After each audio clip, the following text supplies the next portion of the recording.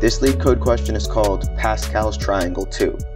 It says given a non-negative index k where k is less than or equal to 33, return the kth index row of the Pascal's triangle.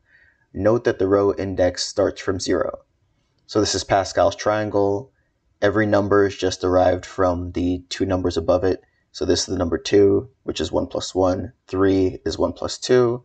3 here is 2 plus 1, and so on and so on. So in the example, we have an input of 3, and the output is 1331, because the row with the index of 3, so this is the row with the index of 0, 1, 2, 3, has the result 1, 3, 3, 1.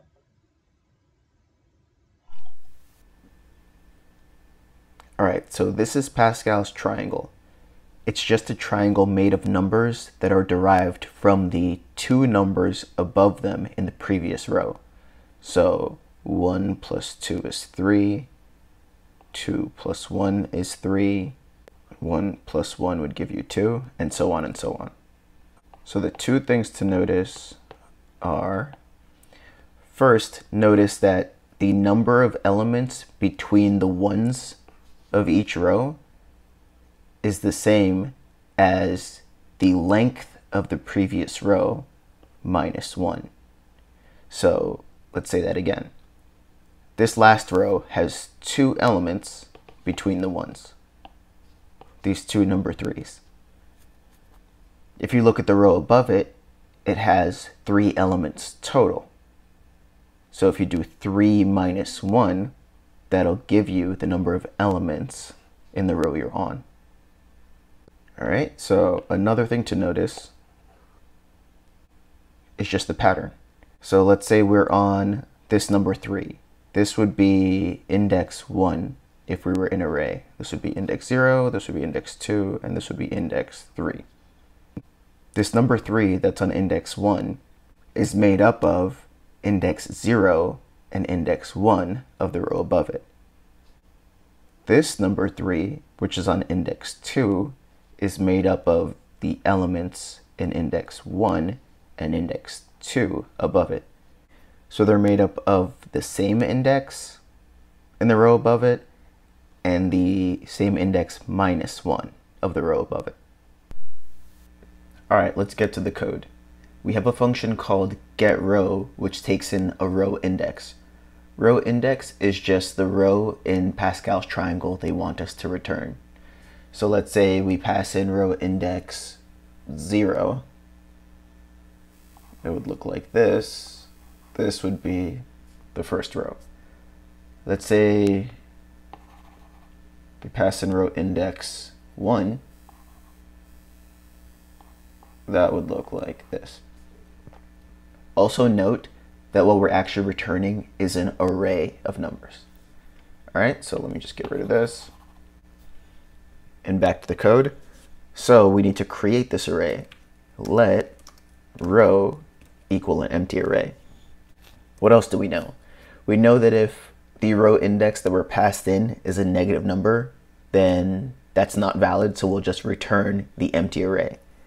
So if row index is less than zero, we'll just return row, which like I just said, at this point is just an empty array. Now what do we do?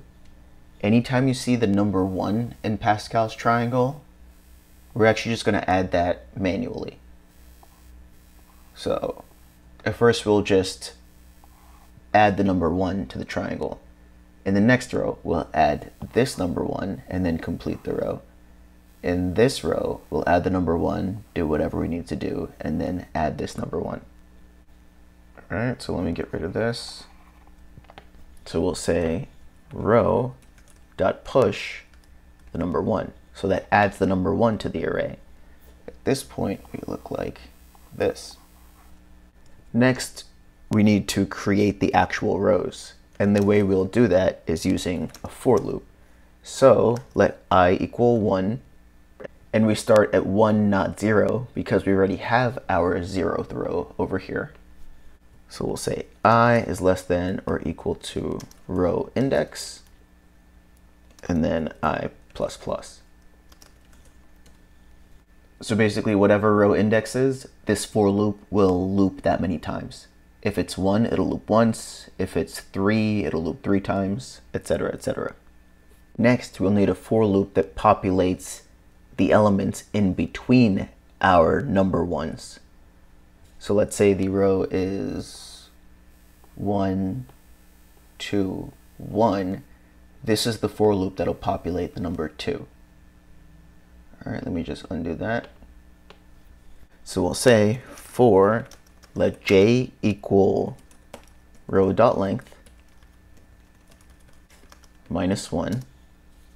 So we'll start from the right side of the row and go left. And then j is greater than 0. And then j minus minus. So j equals row dot length because of what we mentioned before. Let's say this is Pascal's triangle. It's populated up to this step just so we get a good sample.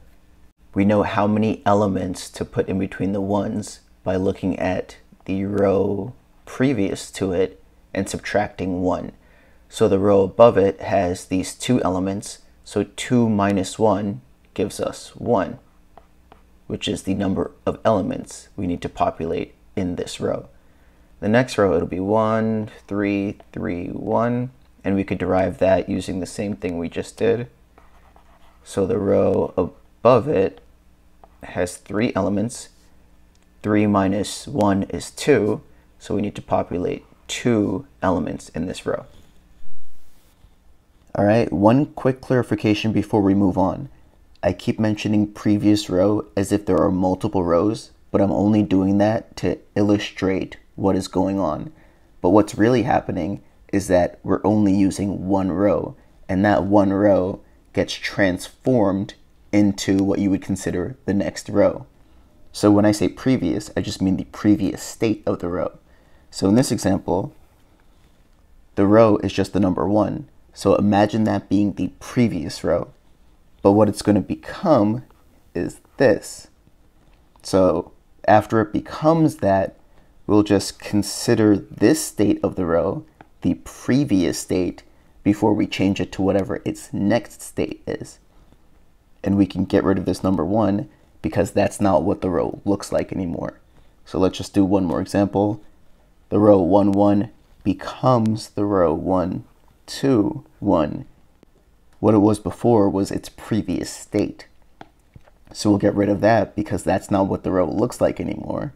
We'll just move this here because before the next iteration, this will be the previous state of the row. All right, let me just undo that to make it cleaner. Remember also that we derive every number from the two elements above it, meaning the element with the same index and the element with the same index minus 1. So this 3 is at index 1. The elements that it's being derived from are at index 1 in the previous row and index 1 minus 1, which is 0. Same thing for this one.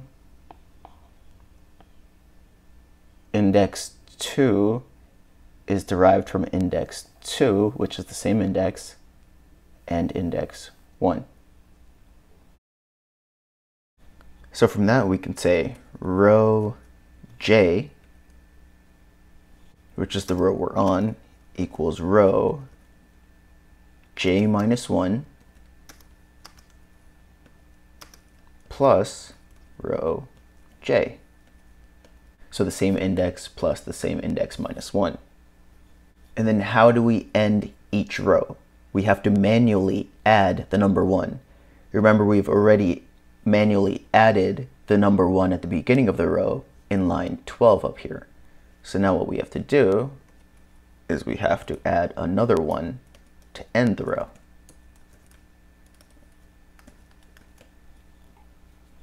Okay, so let's just get rid of this. So let's say that the row index that was passed in was the number one, meaning we want the row that has an index of one. Right now, we only have the row with the index of zero. So how do we do that? Let's look at the code that we've written. Starting at line 14, let i equals 1, i is less than or equal to row index. Well, if i is 1 and row index is 1, that means we'll enter this for loop. All right, so in the first and only loop of this for loop, what comes next? We have another for loop. This for loop is the one that actually populates the elements inside of the array. It says j equals row length minus 1.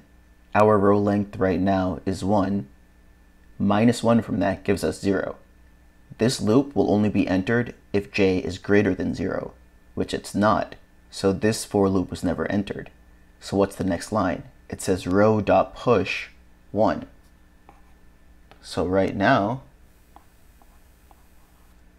we have our answer. It's the number 1, 1, which, if we look back at Pascal's triangle, is the row with the index of 1. Let's do it one more time with the row index of 2. So if we look at line 14 again, we've already gone through this for loop once. So now we'll go through it one more time, which will bring us to the for loop in line 15. So it says for let j equal row length minus 1. Right now, the row length is 2. 2 minus 1 is 1, so this for loop will run one time. And what does it do? It says row j, so that would be pointing to this. We have to make it equal to whatever it is now plus the element in front of it.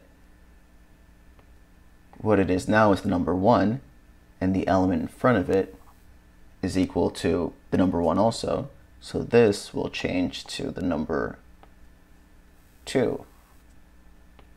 And get rid of those. Then what happens? That for loop is broken out of, and we get to line 18, which is row.push 1. All right, so the only thing left to do is after those are populated, we now just return row, which is the row we just created. So now let's run the code. Looks good, submit.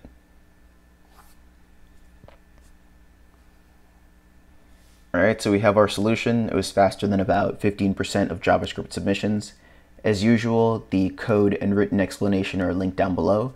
If you like the video, give it a like and subscribe to the channel. See you next time.